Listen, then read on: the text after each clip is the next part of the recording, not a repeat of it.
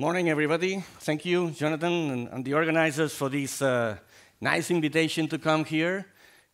The plan is to talk about, as I said, one of my hobbies, which is science, science in the movies. Okay, and we are going to do that by, you know, having a look at uh, what we have around us. Uh, I mean, let me emphasize that we live in a in a high-tech uh, society. Okay, from the moment that we wake up uh, we are surrounded by technological gadgets. Okay, so everybody at home, I, I presume, has a mobile, a laptop, a laser weapon, a lightsaber. Okay, so these are the type of gadgets that we have around. And let me mention that aside from probably this group, which is deep, uh, deeply rooted in technology, most of our society relies on, soci on society but frequently ignores everything about science and technology. And a good example we'll see today is what happens in the movies. Movies usually take care about historical accuracy and things like this. However, unfortunately, the same emphasis is not put into, you know, uh, delivering to the public an accurate enough uh, movie from the uh, technological and scientific viewpoints, okay? To the extent that usually I have the feeling when I go to a movie theater and I see, a, for instance, a science fiction uh, movie, when I, when I leave the room, I have the feeling I'm a replicant from Blade Runner because the first, the first sentence that comes to my mind is this one. I have seen things you people wouldn't believe, okay? It's incredible. It's basically the same thought I have when I'm grading quantum physics exams in the university. I have seen things that you wouldn't believe, okay? Anyway, so today we're going to embark into a journey. So let me just travel back in time to the 17th century, a sunny day in the English countryside, where a young Isaac Newton, that probably sounds familiar to most of you, was actually looking at, the, at, the, at uh, under a, a, tree how an apple was falling. Okay, well, many English people, what they would do is to, to, to try to make use of that, and maybe even to consider the possibility to make cider out of this apple. Okay? But Newton was a different character. So instead of doing cider, he was interested to know where, why objects fall into the ground, and actually was the first to depict the famous law of universal gravitation. Okay? That as a bottom up, uh, as, a, as, a, side effect, led us to an important uh, concept. That's the only important concept that we need for this talk, which is the concept of escape velocity. That's the minimum speed at which you need to instantaneously give to, give to a body in order to, uh, uh, for the body to escape from the Earth's gravitational pull. Okay? And there is that number. I mean, forget about the formula, it's bar barely visible in that screen anyway. But the idea is that the important message is that if you want to, you know, uh, escape from the gravitational pull on our planet, you, you plug in that formula the values for the, for, for the Earth, radius and mass and so on, and the number that you get, that's the relevant number, that's the velocity that you need to leave our planet, okay? It's about 11 kilometers per second, okay? Which transform into more, you know, uh, user-friendly units, uh, you know, kilometers per hour, that corresponds to 40,000 40,000 kilometers per hour, okay? So that, that's why that smells technology a lot, okay? And that's why astronautics, the science that actually deals with space travel, is uh, relatively uh, a new uh, area in, in, in, in, our society, okay? Remember that the Sputnik, the first artificial satellite, was launched only 60 years ago, okay? Well, armed with that concept, we are ready to embark in the first stage of this travel, and we are going to go from the Earth to our closest object that we have around, the moon. Okay? Uh, well, that's a, that's a view of, uh, you know, a photograph of our planet and the moon. The distance that we need to cover is about 380,000 kilometers, okay? But, you know, this is an important issue uh, and even though we have, we have seen, uh, even before the invention of, of, the cinema, attempts to explain how can we go to the moon one day uh, using things that today will sound hilarious, like using a balloon or using a helicopter to go to the moon, okay? Well, we know today that the main issue, the main problem about reaching the moon is the following one. So we are somehow here, okay?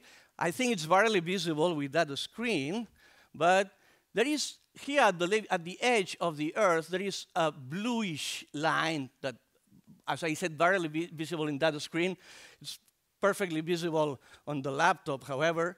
I mean, this is basically the width of the uh, Earth atmosphere. It's about 100 kilometers, okay? So that's the region that surrounds us in which we have basically air to breathe and to fly through, okay? However, as I said before, the distance that we need to travel through is much, much larger than that. Actually, 100 kilometers is, is, barely is negligible compared with the real distance that we have to, to travel through vacuum. And that was what makes a hell of a difference when you, you need to, uh, you know, to think about a mechanism that should work uh, in order to, you know, uh, launch, uh, you know, uh, uh, well, whatever the artifact through space, okay? Most of the mechanisms that people invented in the past are similar to the mechanisms that we use today to fly throughout our atmosphere, but they will not work at vacuum, okay? So during many years, actually centuries, people speculated with the possibility of whether we finally will be able to, to uh, you know, obtain a technology to reach the moon, or is, it was just a dream, okay? One of the guys that actually worked on that was a a scientist, a chemist, Alexander Bickerton, who in the 20th of last century actually speculated about the possibility of reaching the moon. Actually, he concluded that this was an impossible dream. So let me, you know, for this highly qualified audience evaluate more or less the argument of Mr. Bickerton. Well, he was, to make a long story short, he was mentioning that basically to escape the gravitational pull from the Earth, we need a velocity of 7 miles per second. That's the 11 kilometers per second I was mentioning, so we are going well. And then he was uh, considering the following thing. Imagine a gram of material, a very tiny spaceship, only one gram in mass, okay? And so if I want to, uh, you know, push this gram of material at the escape velocity at, 100, at, at 11 kilometers per second, the total energy this gram of material will need to carry is about uh, 15,000 calories, okay? But he was wondering the following. I mean, imagine I take that this gram of material is made of the most powerful explosive that was known at the epoch, nitroglycerin. Okay? So if I explode one gram of nitroglycerin, even if this gram has nothing to carry, uh, what would be the energy delivered? Well, the energy delivered is, is, is, written here in the slide. It's 1,500 calories, so just 10% of the energy needed to escape from the gravitational pull. So the, uh, the argument of Mr. Bickerton was, well, if I only get, you know, if, even if I have nothing to, to carry, to transport with me, if I only get 10% of the total energy that I need to uh, escape from the gravitational pull, that means that the space travel is impossible, okay? Good. So it's time to make a face palm. Okay?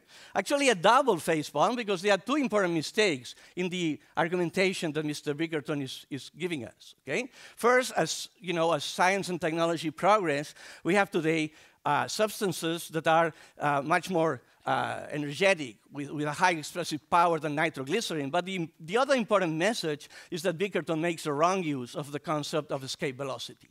Probably you are familiar with the launch of some spaceships, in particular the now retired space shuttle, uh, uh, which, you know, uh, probably you have seen that through TV or, or YouTube or some of these uh, Uh, places. The idea is that you know there is a, a fascinating countdown that actually was invented in science fiction in one of the movies from the 40s. So five, four, three, two, one, zero, and hopefully for the for the for the crew of the spaceship, the, the, the whole thing doesn't move at 11 kilometers per second instantaneously. Otherwise, they will die. Okay.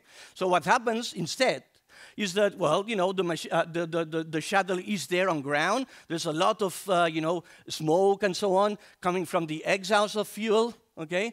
And the idea is that progressively we see that the whole spaceship is moving, is ascending, okay? Actually, after uh, 50 seconds, the velocity of the space shuttle is just one kilometer per second, so about 10% of the required velocity. And it takes about nine minutes at the full, uh, you know, with the full usage of the, of the fuel of this space shuttle to actually reach escape velocity. So the trick for space, uh, for, for for leaving the Earth is not to provide instantaneously 11 kilometers per second to a, to a, a spaceship. It's just to uh, equip the, the spaceship with fuel such that we can gain progressively velocity, and at some point, we will end up reaching escape velocity. That's why, in the case of the space shuttle, we have such big uh, tanks of fuel compared with the uh, in, uh, inhabitable uh, region of the, uh, where the, you know, where the crew members are actually seated.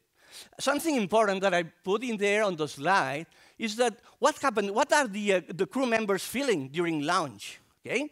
Well, basically, all this is coordinated in a way that the mean acceleration that any body, any, any living uh, being uh, on board of the shuttle uh, will, will notice, in, uh, you know, in average, something like three times the Earth gravity.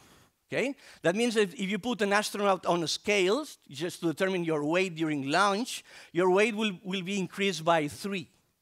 Okay? So if your weight is, say, 70 kilograms, you will see that the scales is actually pointing at 210 kilograms during launch. Okay? Obviously, when you are uh, under microgravity conditions, the scale tells you something quite different, okay? But it is important because humans do not resist well the uh, exposition to large accelerations, okay? Just let me uh, give you a couple of numbers, okay? We know that from, uh, actually from, from uh, space travel, but also from supersonic uh, terrestrial flights, okay? And actually we know that at 3 Gs, just at three times our, uh, you know, the gravity that we are exposed uh, regularly. What happens, and this is a complicated issue, and it depends much among the uh, location of the, of the body with respect to the, to, to, the direction of acceleration of your spaceship, okay? But in average, let's say that at 3 Gs, what happens is that our blood, the blood in our bodies tends to concentrate in specific regions of our, of our body, okay? That means that the usual irrigation that we get, uh, you know, gets heavily distorted to the extent that uh, one of the areas that, you know, uh, get a reduced amount of blood, so the, the blood pressure decreases in that particular spot, is the retina, is our eye, okay? That provokes some sort of uh, blurry vision, Okay, we, we can even, that could even uh, lead to some vision loss, okay, that astronauts can suffer simply because your eye do not get the necessary, uh, you know, amount of blood, okay? Clear? Well, at 6Gs, the situation gets even worse because now it's no longer the retina, it's the brain that is not uh, sufficiently irrigated. And remember that the blood is the, is the vehicle that we use as uh, humans to actually communicate or transport oxygen to everywhere around our body. Okay, so a uh, brain without, uh, without uh, blood means brain without oxygen, and this is deadly.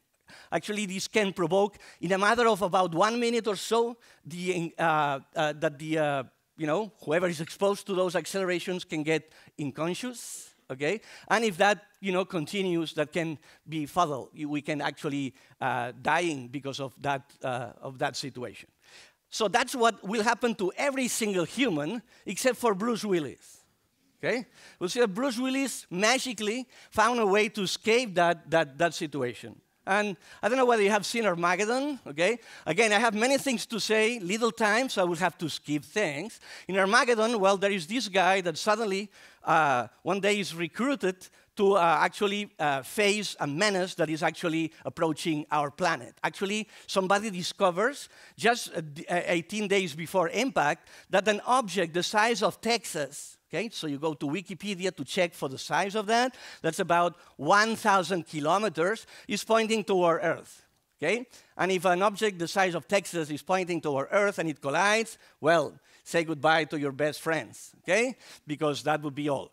Just as an example, if you go to Arizona, there is a wonderful place to visit. Actually, there's the Meteor Crater. It's this big hole in the middle of nowhere, hopefully, okay, that actually represents the hole left by a, by a rock that was only 50 meters, 50 meters in size, okay? Yeah, just to give you a flavor, you can go down. It's a fascinating experience, especially in summer, okay? So you can go there, and actually you can realize that that's a big hole. Actually, the depth of that hole, of that crater, is 175 meters, okay? The diameter is 1.2 kilometers, okay? Remember that the size of the original rock was 50 meters. So then somebody may, may be thinking, how the hell a rock of 50 meters can make a hole of one kilometer, right? Well, again, because not everything is size, okay? Energy plays a role in here. When an object falls, the minimum velocity that an object will have corresponds to escape velocity. The same, uh, the same thing that prevents us to escape actually accelerates in the infall an object, okay? So the idea is that the, uh, you have a rock of 50 meters falling, I mean, impacting the ground at the escape velocity at 40,000 kilometers per hour, and the energy it liberates instantaneously goes into heat, and part of this heat efficiently melts the rocks surrounding, and that's why we generate a hole of 1.2 kilometers. Okay? Well, you can scale that. There are scale laws that describe what will happen for a 1,000 kilometer big rock, okay, like in Armageddon. And I don't, I don't want to you know, to ruin your conference. I will not tell you about it, okay? But that's a very bad thing, okay? So, but don't worry, Bruce Willis is in it, okay?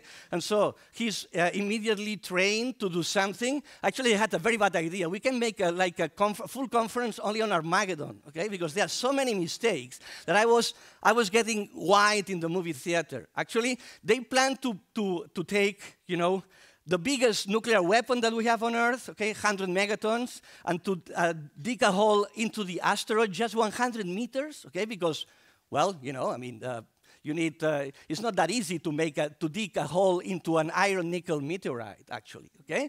Well, the idea is that they make a 100 meter uh, hole, they put the bomb, and then they leave, okay? Well, if you do that, basically what you get is nothing okay? Actually, I made the math, okay? Well, that's what happens when you know some physics. I made the math, and I calculate, calculated how many 100 megaton bombs you need actually to break completely an asteroid like that. And these are millions of millions of millions of bombs like that. So actually, many more bombs than what we have in any arsenal on Earth, okay? So there's no way to, to, to crack an asteroid like that. Anyway, so just let me mention one sentence from that movie that actually impressed me. Actually, when after they dig the hole in the asteroid, they want to leave quickly. And actually, from the uh, control mission, they tell the astronauts, you will need to accelerate at nine and a half gravities during 11 minutes. It's time to pray. I agree. Okay? I agree. Only a miracle will save you guys because I mentioned that, you know, one minute, two minutes at 6G could be mortal. So imagine 11 minutes at 9.5 G. Well, maybe Bruce Willis, that's why he has made so many movies, okay? But if I do that, I will die for sure. Good. Now let's go to the other side. What happens if we reduce gravity? Okay? That's what basically we are more uh, familiar with because we have people, uh, you know, flying around the Earth in the International Space Station, for instance. And so we are familiar with the, uh, with the symptoms of weight, weightlessness in, in, uh, on the human body, okay? Well, let me just mention something funny. Imagine that you have, your dream has always been to be a little bit taller, okay? A little bit taller. Well, you can go and spend quite some time on the International Space Station, and you will grow about five centimeters. Okay? Well, simply because, well, remember that our body is articulated in terms of, uh, well, by, by a number of vertebrae that we have here uh, on the back, right? And these vertebrae can relax or contract depending on the environmental conditions, okay? Under high gravity, the vertebrae actually get closer, so you get uh, smaller. Okay?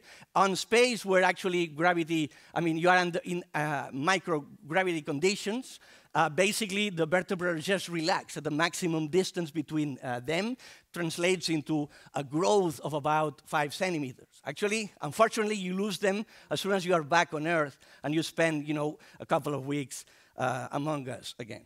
Well, aside from this funny feature, all the other features are complicated. We don't know the extent because the maximum time an astronaut has been flying around is about one year. Okay? We don't know what will happen if somebody spends uh, 5, 10, 20 years un under microgravity conditions. Okay? But all what we can say by now is that for reasons that we don't know, astronauts suffer some sort of uh, aging, accelerated aging. Even if you, you send a 20 year old guy as an astronaut, he will age like an old person. One of the first uh, symptoms of that is what is called spaceflight osteopenia, which is basically the loss of calcium in, in your bones. Actually, that's the reason why elder people, when they fall, can, can, have a larger probability of breaking an arm or a leg because basically, when you get old, the uh, bones lose uh, large amounts of calcium. Okay? So a, a, similar phenomenon can occur, and probably you have seen images of people coming back after a long time on space and they are seated.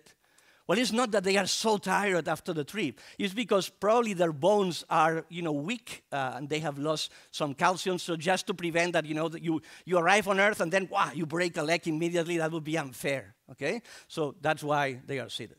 Uh, there are other issues related with uh, uh, reduction, the slowing of the heartbeat, uh, the decrease of the production of red blood cells, which uh, translates into awakening of the immune system, muscle atrophy, because under microgravity conditions, what the hell you need? Your muscles, okay? They are useless. And the most famous one that tells you something about the humor at NASA is the so-called space adaptation syndrome, which, careful, these are the vomits that half of the astronauts that have been trained severely suffer during the first two or three days in space. Ah, probably you don't know that, and you have never seen that. Oh, we are connecting with International Space Station, then uh, there's somebody throwing up because Again, that, that's cut from the uh, images, okay? But again, 50% of the trained astronauts suffer that. And this is due to that disorientation, because again, what, what's, uh, uh, things like north and south or up and down have no meaning under microgravity conditions, okay? NASA have coined a, a unit. You know that physicists love units, okay? And NASA has coined the GARN units to describe your degree of space adaptation syndrome. And you may wonder, where's these GARN units coming from? Actually, there was a US senator, okay, one of these politicians that was sent up to explore, to visit the International Space Station. And apparently, apparently he's the record holder of the uh, uh, space adaptation syndrome. He spent the whole journey just vomiting, okay? And so NASA people have, have uh, qualified that as one GARN because the guy was called, I think, Jake Garn okay? So if you have one GARN, that means that you will have a very bad time uh, on board, okay? Half a GARN means that, well, from time to time you have some vomits, close to zero. That means that you will have a wonderful experience just, you know, taking pictures and everything. And yeah, if you still dream about being an astronaut after that, let me mention that actually among the uh, additional uh, issues, uh, uh astronauts suffer sleep disturbance, excess flatulence on board, so the smell about the ISS must be something, we, if you combine vomits and that, that would be incredible, right? Anyway, and uh, there are hints, that's not that clear, but there are hints about brain deterioration and early Alzheimer, actually pushed by the uh, exposition to low gravity. Again, these are effects that we don't know actually to which extent, because as I said, the maximum time somebody has been there is one, one year, okay? Well, I will skip the experiment with the spiders. That's a very interesting one. If you have the, the, the, occasion to search in YouTube for one of these experiments, you will see how a spider gets adapted to space. Okay? Actually, the poor, the poor spider, nobody has told her that you know, you, uh, she will be under microgravity conditions. So what a spider does, it creates a web, actually by combining uh, her ability to actually jump at a specific speed uh, reach the destination point and then you know create this uh, silk uh, web, right? But again, if you are under microgravity conditions, uh, basically when you launch, there is not, not, not, not a, a, parabolic movement anymore, okay? So you just launch, and then you, oh, and then you end up most likely on the other side of the cabin, okay? So that's what's going on. It's like you have been given a gin tonic to the, uh, to the, uh, to the spider, right? Well, at the end, actually, the spider managed to find, to adapt to the environment, and again, uh, the, I mean, the brightness doesn't allow to see that clearly, but this is the web that this spider, Arabella, was, uh, was actually uh, uh be able to, to build uh, uh, in one of the Skylab models in the 70s, okay? Good. So how can we find these side effects of, micro, of, of, microgravity conditions? One is this one, okay? Is uh, 2001 already showed up that using uh, structures that rotate, actually you can end up walking through the interior of some of these spaceships, okay?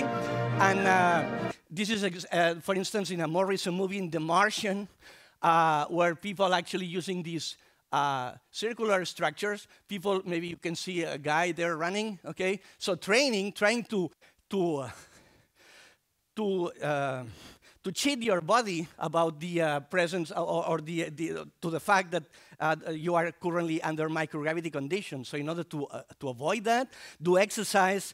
Uh, doing exercise on a space station seems to be a good solution. Good, talking about the Martian will lead us to the next stage in this talk, which is uh, to talk about Mars. Well, Mars is a fascinating des destination. You know that we have plans to go to Mars. Every US administration from time to time is always saying, well, we'll get to Mars in 20 years from now. Okay? Now you will discover why 20 years and not during their time, okay? Because there are, there are, there are secrets that people uh, usually do not tell in public, okay? Good. Uh, maybe you have seen that movie, John Carter. Well, this is unfair because that movie is based on a series of novels, uh, actually about this guy, John Carter, which is a human guy that one day suddenly uh, wakes in, uh, in, in Mars. Okay? He doesn't know exactly how, but he's one day in Mars and says, what, what the hell am I doing here? Okay? Anyway, well, they, these novels were written 100 years ago, and by then the knowledge about Mars was quite limited. Okay? Today is not perfect, but we know that there are things that cannot really happen in Mars. For instance, in the movie, for those that have seen that, the main character, this guy, John, the, the, the human, the John Carter, can make incredible jumps. Why? Because he's in Mars, my friends. Okay? Actually, he's, I mean, in the movie they justify, well, you know, the gravity is small in Mars, so you can jump more because you come from, a, from another planet and you are used to do these things. Fine. Let's do the science of that. Imagine that without any, you know, impulse, I, I just jump vertically without, without running, okay, vertically. If I am in a very good day and train and so on, basically the sole of my feet can actually elevate by about half a meter, 50 centimeters, you know, something like this, okay, from the ground, okay? Well, maybe somebody that plays basketball will say, oh, I, I can do 70 centimeters. Fine, wonderful. It's just an estimate, okay? What would be the effect if that same person jumps in the same way on Mars? Well, the change, uh, the, the, gravity factor that tells you uh, you know, the difference between the Earth and Mars is, is about a factor of three. That means that on Mars, gravity is three times smaller than on Earth, okay? And that translates in a jam that would be this, this thing multiplied by the, the change in gravity, so three, okay? The, all in all, that means that the distance from my feet to the, you know, to ground, if I jump on Mars, would be something like 1.3 meters. Fine, good, I mean, a good jump, right? But nothing like this, okay? So in the movie, he can even catch spaceships by jump, jumping. Well, again, well, there's other, another thing water on Mars. Okay? Well, yeah, we have found water on Mars, actually, okay? But it's not as uh, impressive as, th as that. We found some ice in one crater that is not really highly. Uh, uh, illuminated by the sun, okay? And that makes into the headlines. We have found water on Mars, okay? And probably you have seen that if you are old enough, like 20 times. For the first time, we have found water on Mars. Then next week, for the first time, we have found water on Mars. It's a different picture, okay?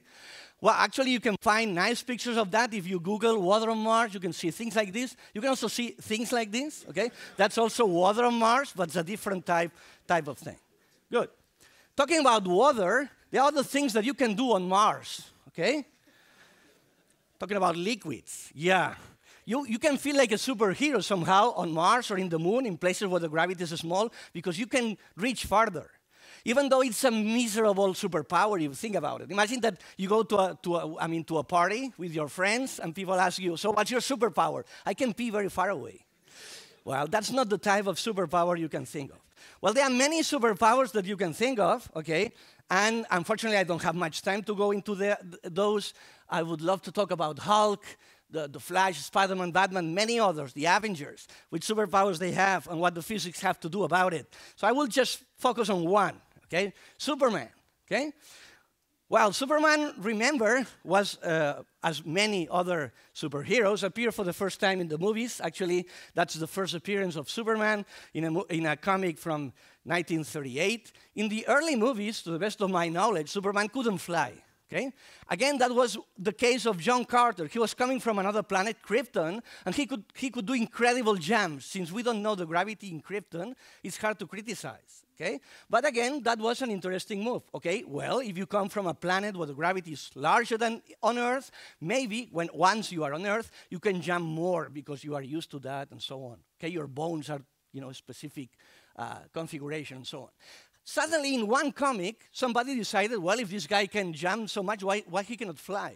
Okay? Which is a slightly different, okay? Because in order to fly, you need uh, to have uh, other qualities. You cannot change direction when you are jumping like this, and then you go like that without any uh, engine or anything like this. Okay, that would violate many physical laws. Just let me mention about one of the aspects that I found surprising about Superman: his ability to uh, to have X-ray vision.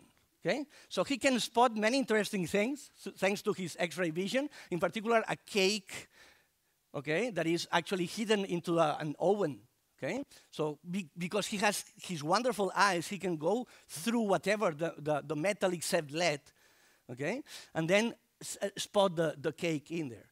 Actually, for instance, in Superman Returns, we can see a, uh, an example of that. He's investigating whether uh, his uh, friend Lois Lane has been actually affected by a fall, so he makes like a wonderful X-ray scan through her body, which is interesting because maybe she's okay, but after the, the doses of radiation that she will get, I would not be that, that sure. Okay, that's one thing.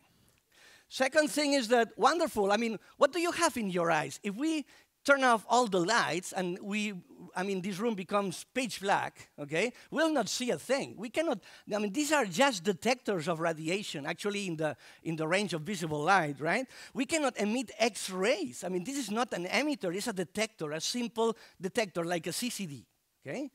Well, again, that's Superman. He can do many things, okay? And one of the abilities that he has, in case of trouble, he can use his vision to actually melt dangerous objects falling onto the population. Okay, good. Yeah, I would like to have those eyes. Anyway, talking about radiation, sorry, I mean that the slide is, is, uh, is not in English, but anyway, maybe you can see that figure. That's the only thing I would like to stress. Talk about colonizing Mars, okay, people tend to forget something relevant, okay? And the relevant piece of information that people tend to forget is that Mars has two main differences with regard to planet Earth, okay? Mars is unprotected for the arrival of charged particles and high energy radiation. We have two shields that protect us. One is the Earth magnetic field, Okay? Mars is smaller than the Earth. The, the reason why the Earth has a, a, magnetic field that we use you know, to orientate in the forest with a compass and so on, that's because part of the inner part of the, of the planet is actually uh, um, liquid. It's in liquid phase. We have liquid uh, plasma okay, at high temperatures of the order of several thousand degrees, okay? And when you have a, a, charged plasma that is liquid and can rotate, actually that translates into a, a, you know, a generation of magnetism. That's basic physics, okay? Well, in Mars, it's so small that actually it has solidified completely. It, has, it doesn't have a, a, liquid core, and that translates into essentially a zero magnetic field. So any proton that uh, would be trapped around the Earth because of the magnetic field, and so we are protected from the arrival on Mars, will hit the ground, okay? So the doses of radiation would be larger. Second thing, we have an ozone layer that protects us from, you know, ultraviolet radiation, high energy radiation, okay? On Mars, essentially, there is no atmosphere. Okay? Uh, we can go on and on and talk about the Martian. I mean, whether these huge storms that appear in the beginning of The Martian, if you have seen the movie, take place. Well, the answer is no. Okay, I remember I was, in the, I was watching the movie in the theater, first minute of the movie, and I said, I have seen incredible things. Well, you know the story, right? Anyway, so, well, I don't know whether you can spot here, there is a small peak here, Okay? That's the dose of radiation that somebody working on a nuclear power plant on Earth will, will receive in a year. Okay? I'm excluding accidents, of course, okay, in a normal operation of a nuclear power plant. That's in one year. That thing is the expected level of radiation of a human on, on a three-year mission on Mars, simply because of the lack of uh, exposure, uh, of the lack of protection from uh, from magnetic field and ozone. So that means that careful. I mean, one day we'll go to Mars, but we first need to provide a way to decrease the levels of expected radiation for the crew. Otherwise, they will, yeah, go to Mars, they will put the flag, and when they uh, come back, they will go directly to the hospital. Okay?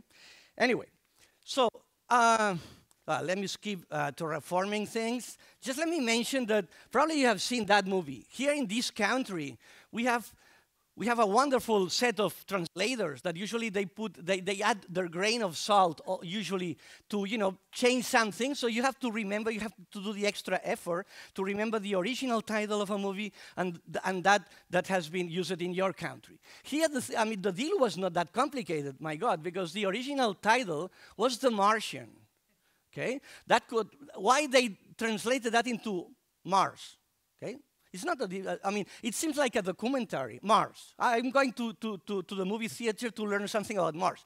The Martian tells you something else. Is there, is there any alien in the movie? Okay. It wasn't that complicated to translate the Martian into Marciano, that would be the Spanish word. Probably it was to avoid jokes like this. Okay. That's the only explanation I found. Anyway, good. Okay, I have like I have like six minutes. Let's go a little bit beyond. So let's let's explore our galaxy.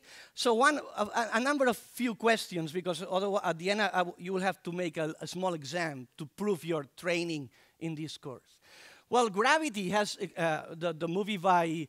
Uh, by the Mexican Alfonso Cuaron actually illustrated us that moving throughout the space is not as simple. Okay, it's not enough like in Star Wars, just take the steering wheel, you, you rotate that, and then the ship goes like this. Okay, basically like like piloting uh, an airplane. Okay, in space you don't have friction. Okay, so you need to do something else.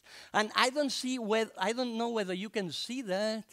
Well, yeah, this is basically what the space shuttle in one of the movies directed by Clint Eastwood in Space Cowboys, he was using to illustrate how a spaceship moves uh, on space. Okay? If you don't have friction, the only thing that you can do is you need to throw something in one direction, and by a physical principle that, some, that may be familiar to most of you, conservation of linear momentum, essentially, the idea is that uh, you know, the rest of the object moves, moves backward. Okay? The problem is that, yeah, it moves backward, but it doesn't stop because there's no friction, so you have to compensate that.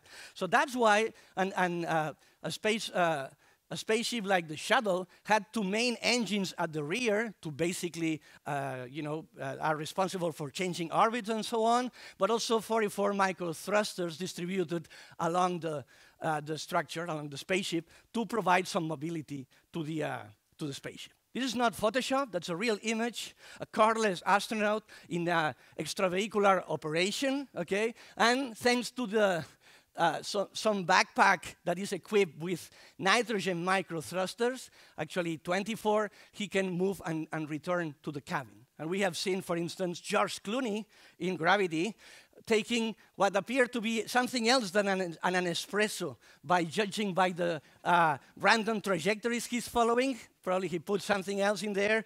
And uh, you can see how the backpack actually exhibits some, uh, some jets that actually that's essentially the mechanism that we use to move. Uh, I didn't check whether the trajectory is correct, but that's the idea. Okay? Good. Uh, now an exam. Okay? So the idea is I will show you one famous scene from uh, The Empire Strikes Back. It, it, it, uh, it, will last only for one minute. We'll see it twice. First, to get familiar with, and second, to actually spot how many mistakes or things that are scientifically inaccurate you will find. I tell you there are more than 10 in one minute, which is probably a record holder, okay? Anyway, let's see that.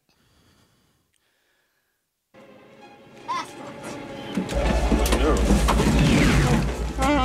Chewie set 271. Uh, what are you doing? You're not actually going into an asteroid field. They'd be crazy to follow us, wouldn't they? To impress me. Sir, the possibility of successfully navigating an asteroid field is approximately 3,720 to 1. Never tell me the odds.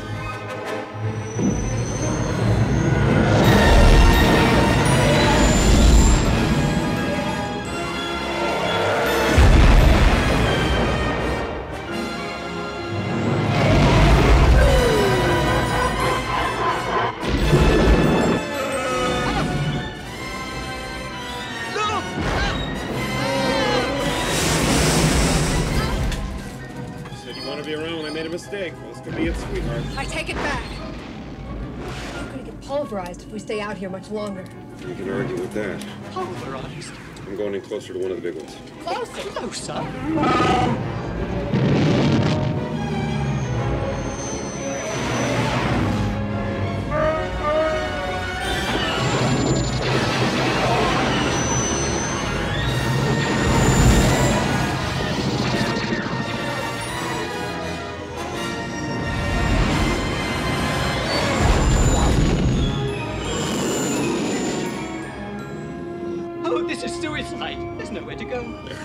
Pretty good. That looks pretty good. Yeah. It'll do nice. Excuse me, ma'am, but where are we going?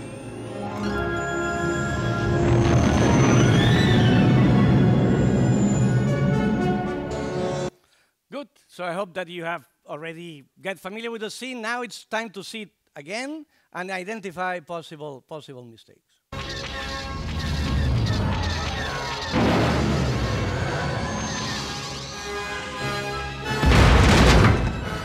Han, look! Ah, crap, there's two more of them dead ahead. It's all right, I think I can outmaneuver them.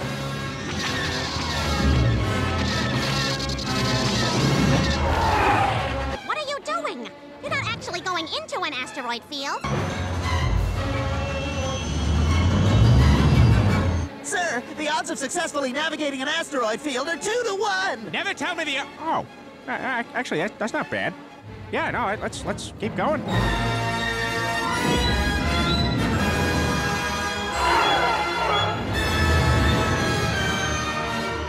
Look,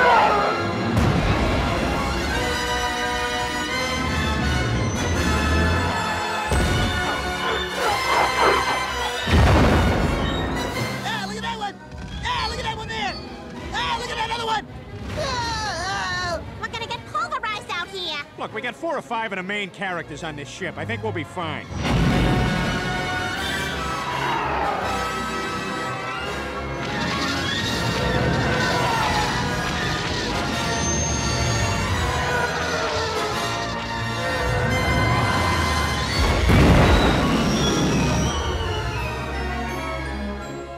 All right, let's park right there in that cave. What are you doing? You can't park there.